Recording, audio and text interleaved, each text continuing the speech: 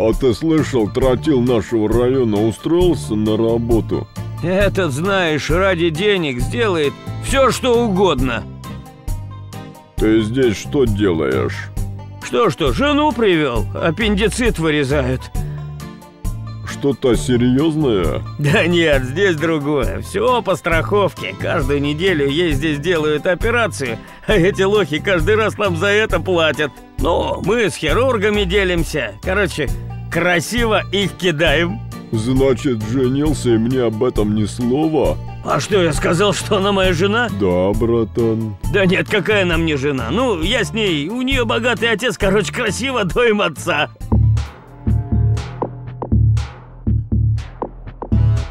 Смотри, братан, там кого-то привезли.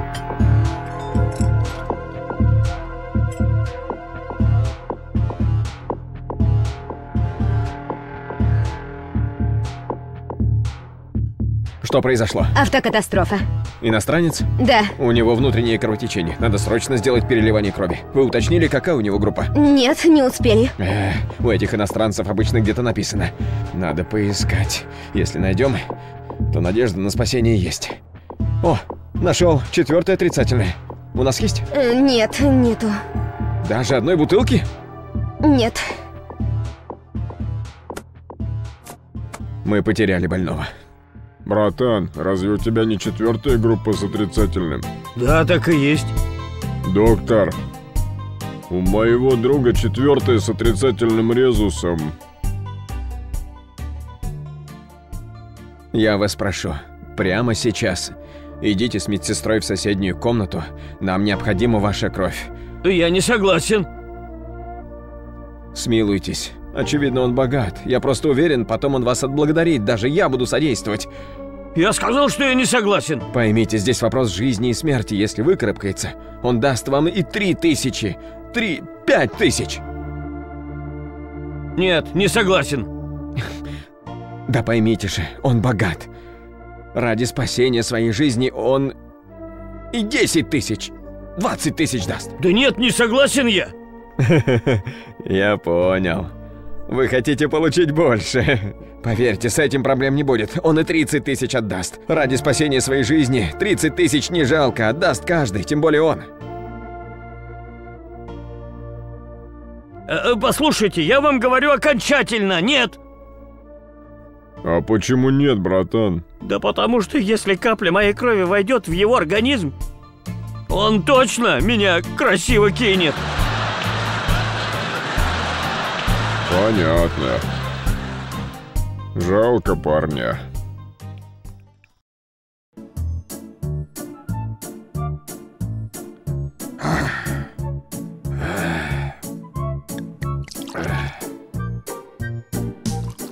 Этот бокал я хочу поднять за наших детей. Ради них мы оставили все и пошли в слесари, чтобы их будущее было светлым.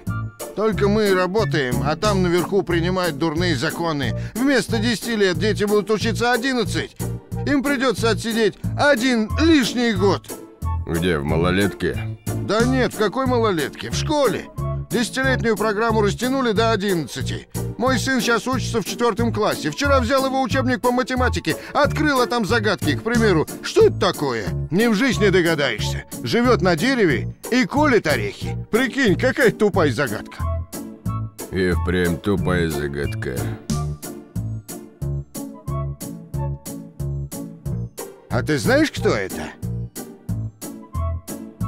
Орехи колят. Да, орехи. Это молоток. Какой еще молоток? Вдумайся, живет на дереве и колет орехи. Это белка. Слушай еще одну. Что такое?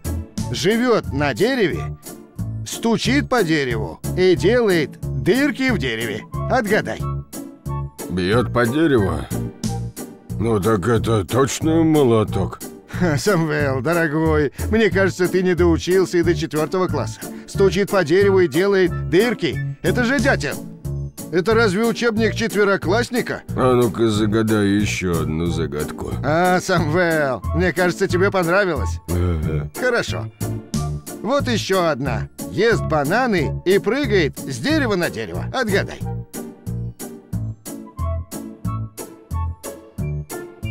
Не знаю, дорогой. Что там думать? Я же говорю, ест бананы и прыгает с дерева на дерево. Это же обезьяна, дорогой Самвел. А, вот я думаю, как это молоток может прыгать с дерева на дерево.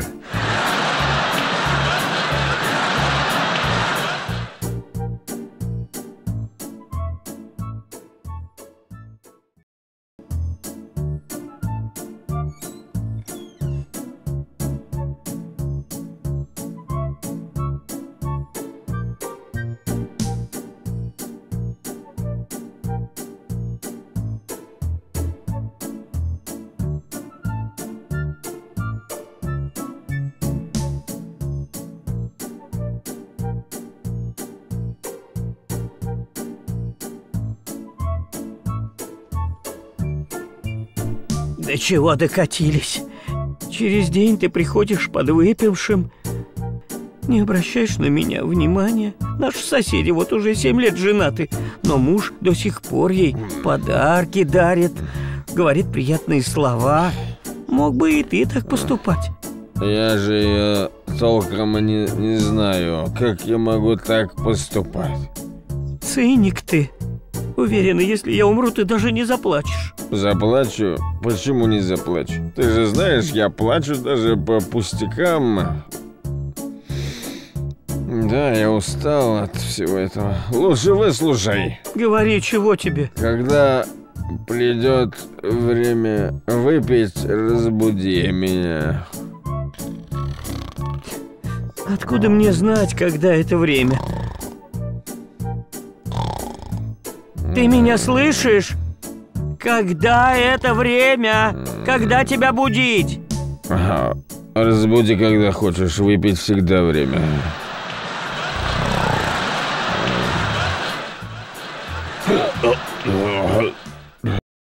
Слушайте, вы еще в сентябре должны были отправить этот груз. А сейчас уже ноябрь. Если затянете еще на месяц, новогодний сезон упустим. Острая необходимость в лимонаде исчезнет. Не затягивайте, оперативно отправьте договор, подпишем и быстро отгружайте. Как отправляли? Договор? Вчера? Минуточку. Алло. Вчера нам отправляли договор, распечатай его. А почему вы мне не сказали, что вы отправили его? Молчали бы еще месяц, и все, Новый год. Сейчас подпишу и отправлю вам.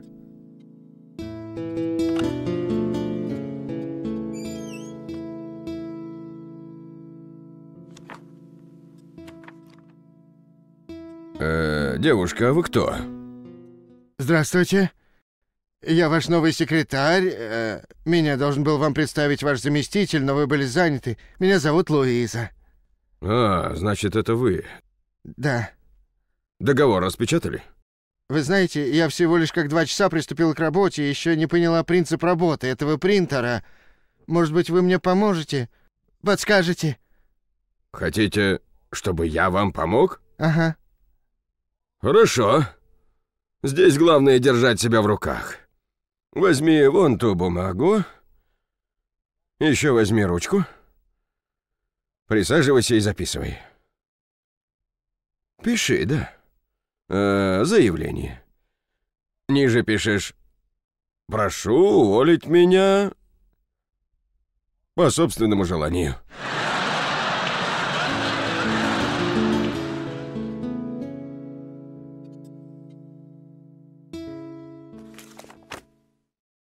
Дети, на прошлом уроке я вам рассказал о смысле таких слов, как радость и счастье, их отличие и правильное их употребление в предложении. А сегодня я вам объясню смысл таких слов, как беда и несчастье, их отличие и правильное употребление в предложении. Азам Хитаровна, можно вопрос? Говорите, Мхитарян. Сегодня у меня день рождения, можно уйти пораньше?